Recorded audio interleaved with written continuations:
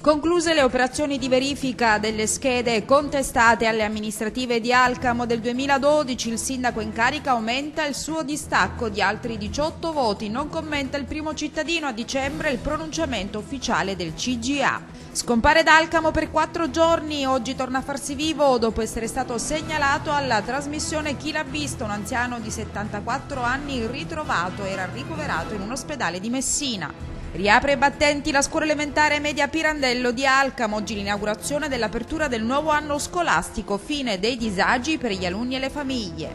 Via libera del Consiglio Comunale al bilancio di previsione 2014 di Castellammare del Golfo, manovra ingessata dai costi fissi come i pagamenti degli stipendi per dipendenti e contrattisti. Entra nel vivo la settimana europea della mobilità sostenibile Alcamo e Castellammare del Golfo tra i comuni aderenti, diversi gli eventi in calendario organizzati da entrambi gli enti. Vertice di maggioranza a Partinico dopo le dimissioni dell'assessore Vincenza Brigano e la rottura con l'Udc, individuati i criteri per assegnare il posto vacante in giunta. Bentrovati al consueto appuntamento con l'informazione di Alpa 1, lo avete sentito nei titoli, si sono concluse le operazioni di verifica delle schede contestate alle elezioni amministrative del 2012 di Alcamo. Il sindaco in carica aumenta il suo distacco di altri 18 voti. Non commenta però il primo cittadino. Dopo la sentenza parlerò, dice a dicembre il pronunciamento ufficiale del CGA. Concluse le operazioni di verifica del voto delle amministrative 2012 ad Alcamo in prefettura a Trapani. Secondo quanto emerge dalle primissime indicazioni, l'attuale sindaco Sebastiano Bonventre avrebbe aumentato lo scarto di voti con il suo antagonista al ballottaggio Nicolo Solina del movimento ABC. Secondo quanto sostiene il primo cittadino, il suo legale Alessandro Finazzo, tra le schede assegnate o sottratte all'uno e l'altro candidato sarebbe aumentato lo scarto da Solina di ulteriori 18 voti. In merito non commenta Bonventre che però conferma questo esito. Al momento momento non parlo, con rispetto attendo la sentenza, sottolinea, dopodiché mi pronuncerò e ne avrò molte cose da dire. Abbiamo tentato di contattare telefonicamente Solina, che però risulta ancora irraggiungibile. Ci riserviamo di esprimerci, sottolinea Paola Messina, rappresentante di ABC, quando saranno chiusi i verbali che ancora sono in via di definizione in prefettura, come ci è stato comunicato dai nostri legali, e comunque ogni valutazione potrà essere fatta dopo la sentenza del CGA, attesa per dicembre.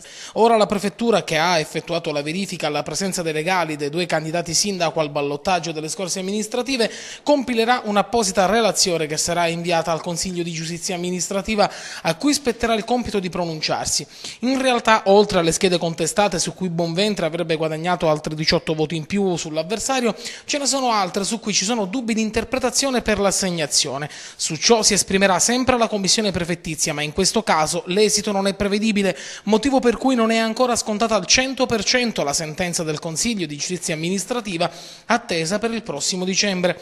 Si è arrivati a questa verifica per effetto dei diversi ricorsi presentati proprio da Solina, il quale evidenziò come furono assegnati a Bonventre molti voti che, a detta sua, erano invece da annullare per alcuni segni nelle schede. Ricorsi che inizialmente furono respinti ma che poi vennero accettati quando emersero indagini della Procura di Trapani, ben due, sul presunto voto di scambio proprio ad Alcamo.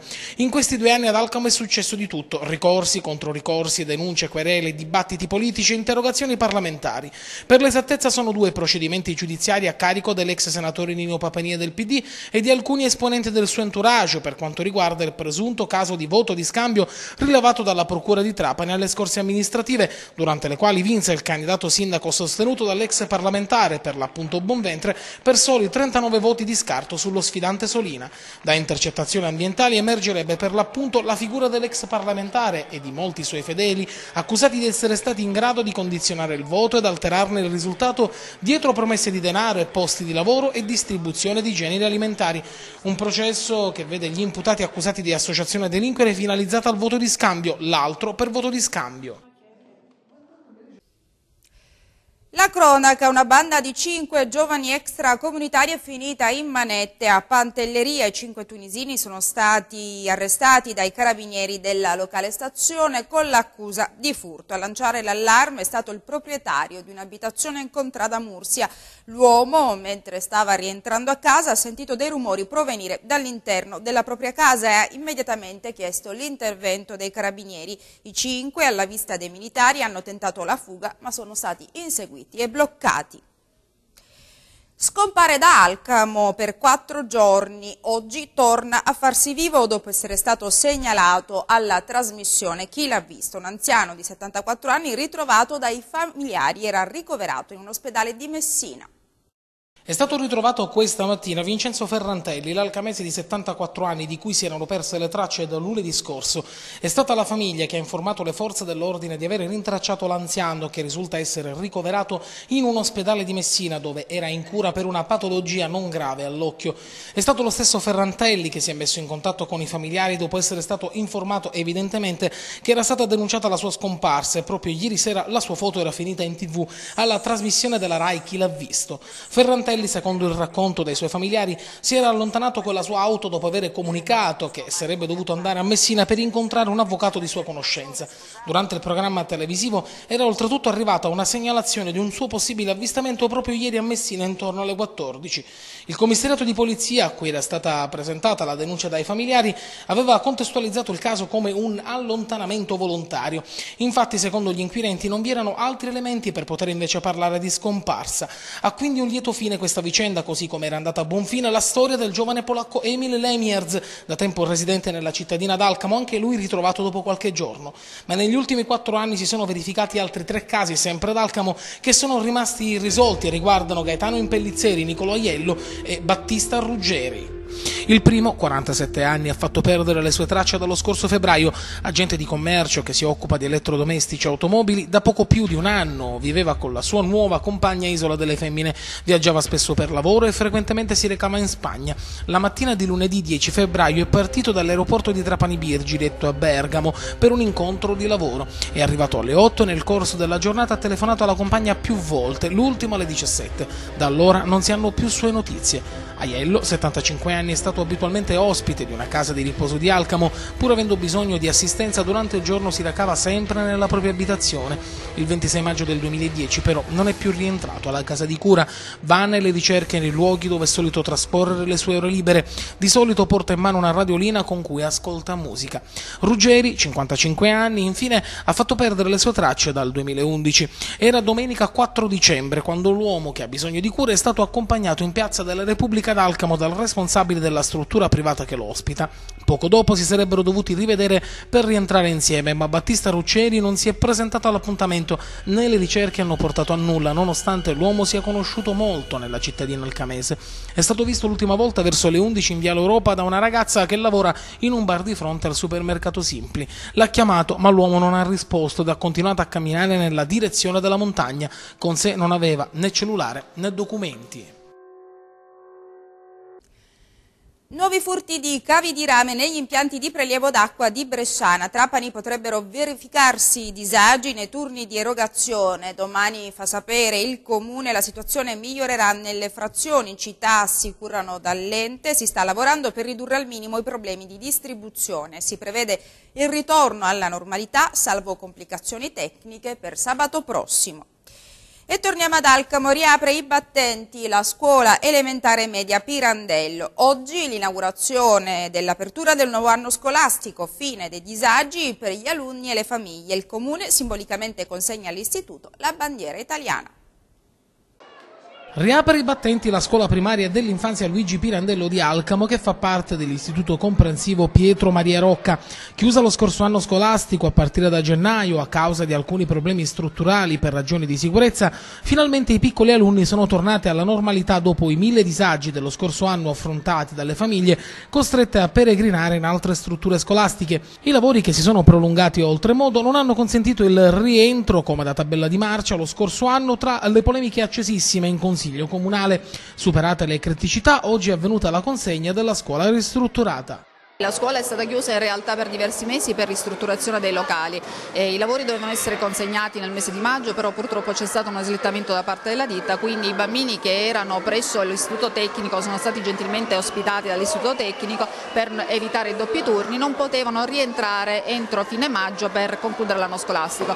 Ma adesso con l'impegno della ditta che ha consegnato i lavori nel mese di agosto, subito dopo Ferragosto, si può riaprire quindi il nuovo anno scolastico è incominciato bene per tutti questi bambini e per gli gli insegnanti che serenamente affrontano eh, appunto questo, questa novità, questo nuovo anno. L'immobile venne chiuso in seguito ad alcune lesioni alla struttura che furono rinvenute al primo piano, da qui la necessità della chiusura e del trasferimento degli alunni in blocco in altre strutture.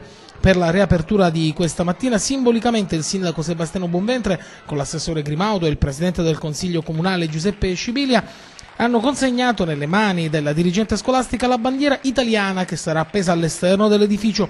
Ora l'amministrazione comunale si sta muovendo complessivamente sul fronte dell'edilizia scolastica. Sono in arrivo i fondi intercettati attraverso i bandi emanati dal governo nazionale e che saranno destinati all'Istituto Navarra, alla Normardo Radice e al secondo circolo. Abbiamo già intercettato sin dal marzo scorso un finanziamento superiore ai 500 mila euro al netto che già riguarda diverse scuole di Alca per la messa in sicurezza. Tenete presente che già però il, eh, lo stato delle scuole di Alcamo non è malaccio se facciamo sempre riferimento ai comuni e ai comuni vicini. Quindi si tratta di interventi eh, più che altro di messa in sicurezza e adeguamento a delle norme più che di ristrutturazione vera e propria.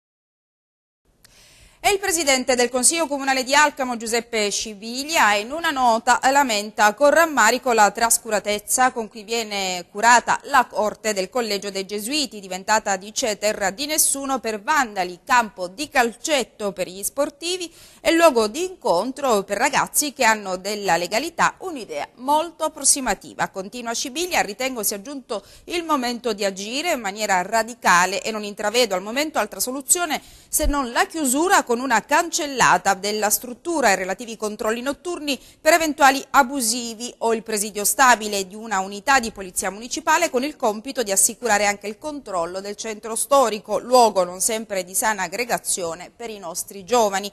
E conclude infine il Presidente del Consiglio Comunale, prendo atto che anche l'assessore alla cultura e alla pubblica istruzione Selene Grimaudo ha formulato una nota di contenuto simile e dunque servono non solo maggiori controlli per affrontare la situazione problematica e ulteriori impianti di videosorveglianza, ma soprattutto è di fondamentale importanza verificare in tempi reali ciò che succede nelle 24 ore.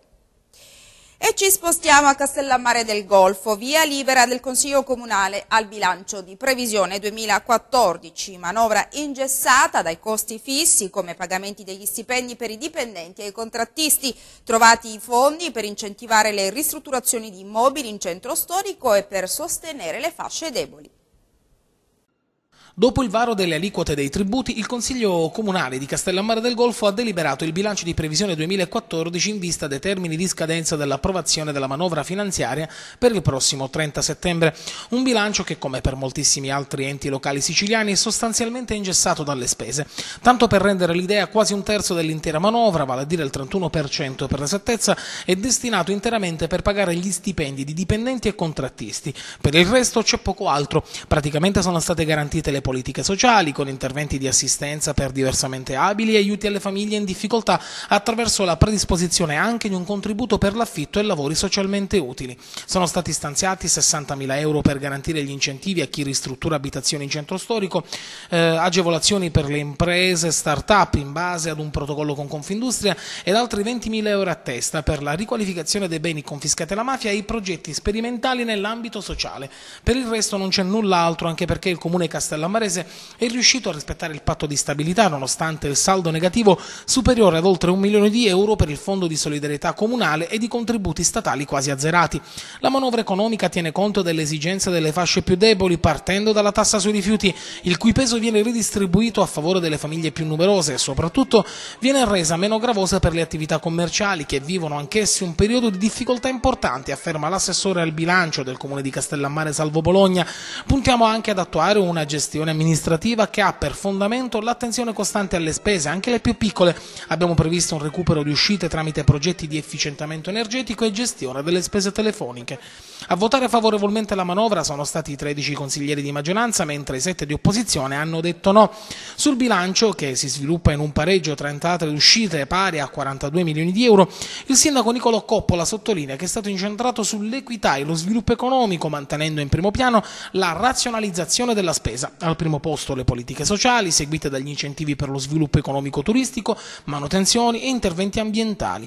Abbiamo cercato di mantenere ed in alcuni casi di migliorare la qualità dei servizi ai cittadini, afferma il sindaco Nicolo Coppola, anche se la spending review determina un'ulteriore contrazione della spesa. Le imposte applicate con l'IMU, invariata, la TASI e la TARI prestano particolare attenzione alle categorie più deboli come disabili, pensionati e chi ha reddito basso, ma anche alle attività produttive che in un difficile momento economico come quello attuale sono le più colpite, conclude il primo cittadino. Ad essere evidenziato che a breve a Castellammare diventerà un cantiere a cielo aperto, partiranno infatti le ristrutturazioni della scuola Crispi, della torre Bennistra Scopello, della villa comunale e la riqualificazione di beni confiscati alla mafia. E cambiamo argomento, entra nel vivo la settimana europea della mobilità sostenibile, Alcamo e Castellammare del Golfo, tre comuni aderenti all'iniziativa, diversi gli eventi in calendario organizzati da entrambi gli enti. A piedi, in bici o con i mezzi pubblici entra nel vivo la settimana della mobilità sostenibile. Tra gli oltre 110 comuni italiani che hanno abbracciato l'iniziativa promossa dalla Commissione europea con l'adesione del Ministero dell'Ambiente, anche il comune di Alcamo e quello di Castellammare del Golfo. La sette giorni per incoraggiare i cittadini ad utilizzare mezzi di trasporto alternativi all'auto privata nasce con l'obiettivo di contribuire a rendere gli spazi urbani più vivibili, diminuendo l'utilizzo di automobili e motorini, optando piuttosto per la mobilità ciclistica, pedonale del trasporto pubblico, puntando anche alla diffusione delle piattaforme di car sharing. Entrambe le amministrazioni dei due comuni hanno predisposto una serie di appuntamenti in tema. Ad Alcamo domani alle 11 presso la sala consiliare verranno presentati i risultati del servizio Pedibus e il programma per l'anno scolastico 2014-2015 dall'assessorato alla pubblica istruzione. L'amministrazione comunale infatti forte del successo e della partecipazione riscossi presso le famiglie e i piccoli alunni durante la sperimentazione in alcune scuole primarie della città nell'anno scolastico appena trascorso, ha deciso di riproporre il servizio Pedibus anche per quello appena iniziato.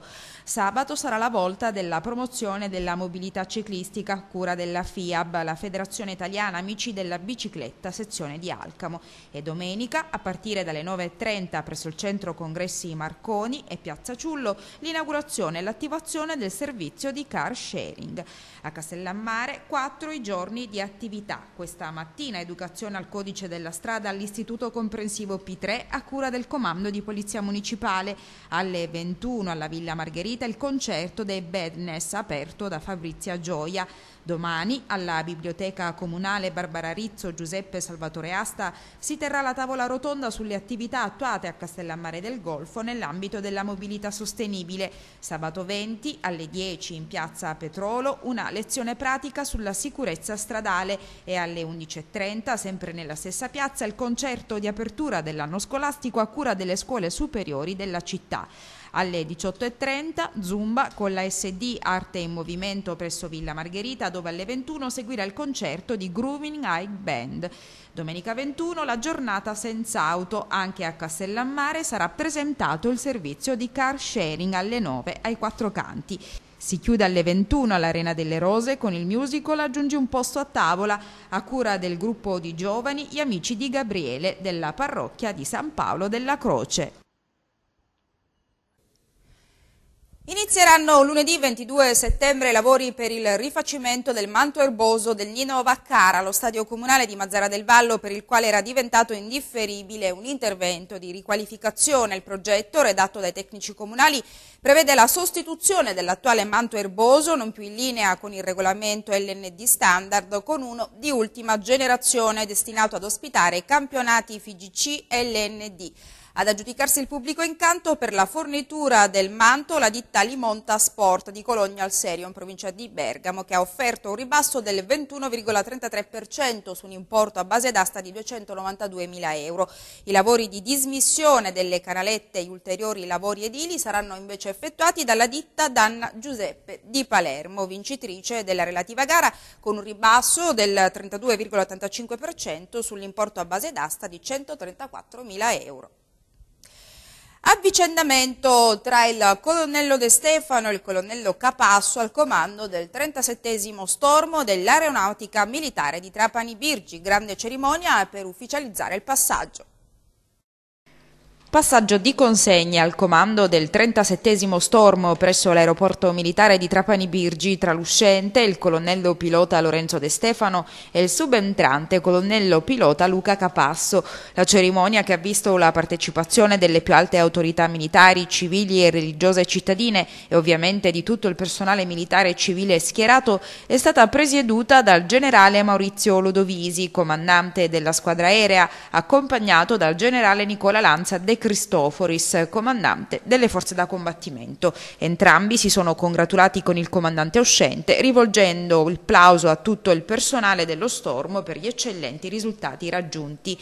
Nel discorso di commiato De Stefano ha definito il proprio periodo di comando un'esperienza che mi ha trasformato radicalmente. Quello che ho appreso, ha dichiarato, è stato di portata smisurata. Ogni reparto dell'aeronautica militare ha le proprie particolarità. Il guaio, o meglio la fortuna, è che il 37 Stormo le ha tutte insieme e rivolgendosi al proprio personale ha proseguito dicendo la capacità di risposta dello stormo alle emergenze non ha eguali e non lo dico perché di parte, è una peculiarità che distingueva il personale già prima che io arrivassi, lo avete dimostrato sempre in ogni circostanza.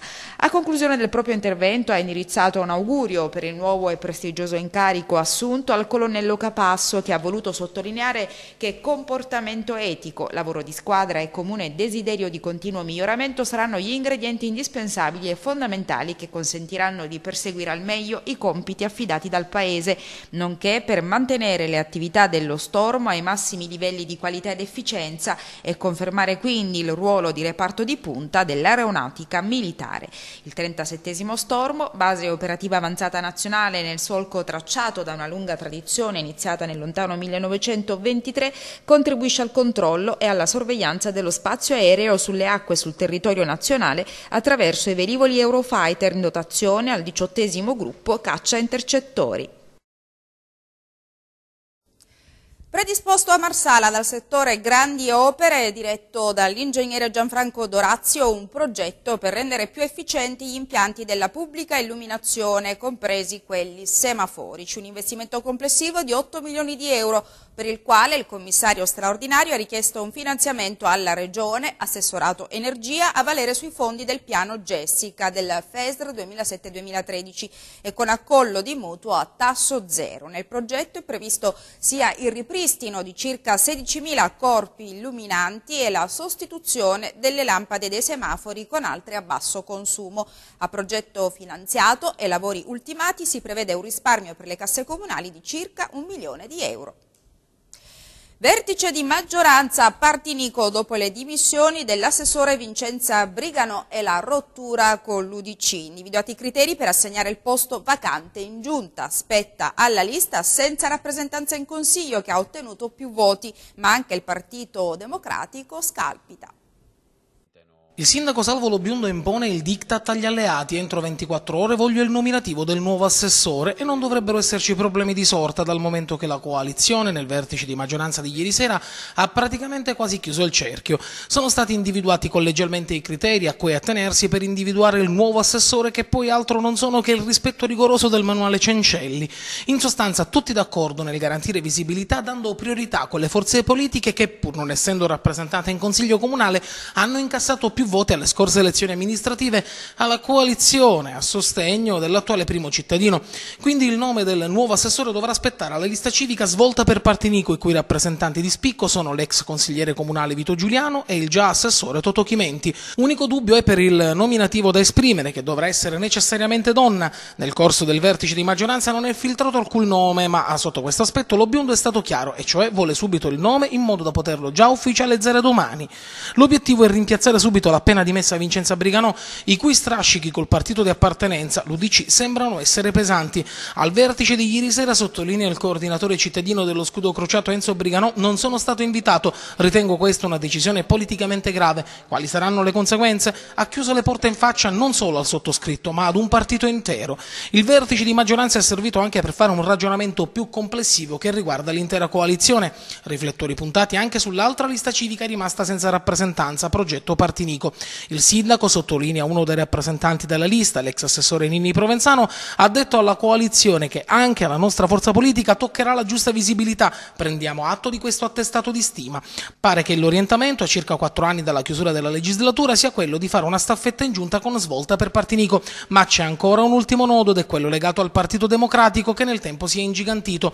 Oggi conta ben cinque consiglieri a sostegno del primo cittadino, ma un solo assessore in giunta. C'è chi spinge per avere maggiore visibilità. In bilico potrebbe esserci, anche se non nell'immediato, l'assessorato al momento in mano a Diego Campione, che non ha alcuna rappresentanza in consiglio. Non è un problema di poltrone, precisa il consigliere comunale di maggioranza Vito D'Amico, ma di programmazione. Mi auguro che il nuovo assessore e la giunta al completo lavorino per raggiungere obiettivi e risultati per il territorio. Sabato prossimo, nella splendida cornice del Tempio di Segesta, il chitarrista Francesco Buzzurro sarà protagonista dell'incontro dal titolo Una chitarra, una passione. Francesco Buzzurro si racconta, terzo appuntamento della rassegna Tramonti Elimi da Segesta a Calatafimi. Nel corso della conversazione l'artista siciliano racconterà insieme al suo amico e produttore Alfredo Lofaro la propria storia di chitarrista dall'inizio degli studi alle prime composizioni, dai concerti degli esordi ai più importanti teatri del mondo, dalla musica classica alla scoperta del jazz, passando per la musica folk. Alternando parole e musica, il musicista proporrà inoltre alcuni brani tratti dal suo nuovo disco, il quinto elemento, che uscirà il 7 ottobre. San Vitolo Capo si prepara al più atteso appuntamento dell'anno da domani, la rassegna aspettando il Couscous Fest tra i grandi ospiti della manifestazione, quest'anno Gino Strada, lo chef Sadler e Pino Daniele. Ormai diventato l'evento clou dell'anno di San Vito Lo Capo, rendendo celebre il piccolo centro marinaro praticamente in tutto il mondo, torna dal 23 al 28 settembre il Couscous Fest, il festival internazionale dell'integrazione culturale, arrivato alla diciassettesima edizione. Quest'anno la Kermesse si amplia ulteriormente e dopo il Couscous Fest Preview, che si tiene da qualche anno a questa parte a primavera, prende il via domani la quattro giorni dedicata ai più impazienti, denominata Aspettando del Couscous Fest. In programma per tutto il fine settimana fino a lunedì incontri, i talk show dedicati a temi d'attualità del premio Saturno, il cabaret di Sasà Salvaggio ed Ernesto Maria Ponte, la musica di Giaca e dei Coexist. Già da questo weekend partono le degustazioni al villaggio gastronomico aperto da mezzogiorno a mezzanotte con oltre 30 ricette tra tradizione, varianti internazionali e una senza glutine. I menù sono ovviamente a base di couscous ma anche di pesce azzurro fornito dai pescatori di San Vito. I visitatori potranno partecipare anche alle lezioni di cucina condotte da chef sammitesi che insegneranno tutte le fasi di preparazione di una ricetta, dall'incocciata al condimento sia per il piatto tradizionale che per il couscous precotto.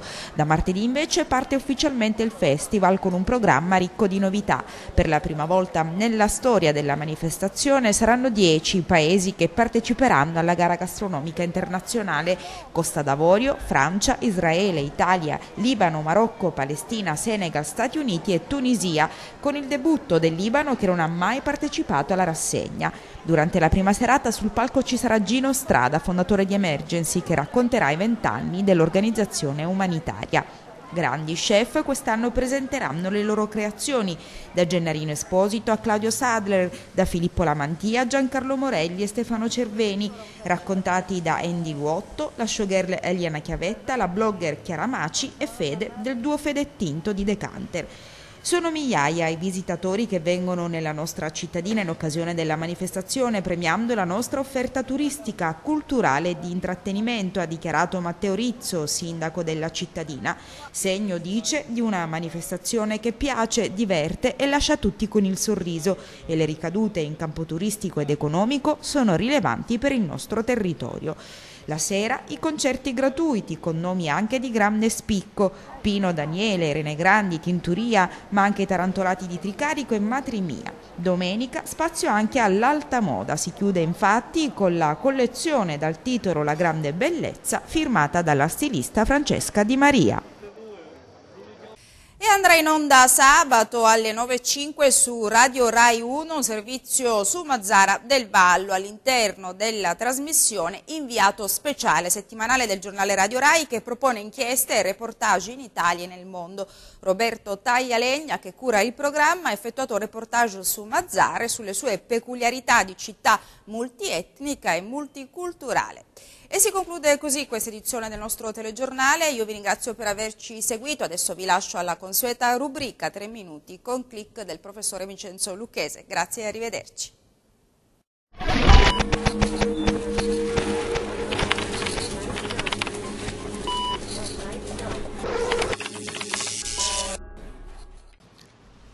Buongiorno a tutti. Determina dirigenziale 1649 del 5 di agosto 2014, liquidazione retta all'Associazione Servizi e Promozione Umana Comunità Agape dal 1 di eh, maggio 2014 al 30 giugno 2014 36.550 euro Determina dirigenziale la 1650 del 5 agosto 2014, liquidazione a Antonio e Sergio Mule, 27 che sono in pratica sono eh, diciamo rette che si danno a queste comunità, 27.414 euro.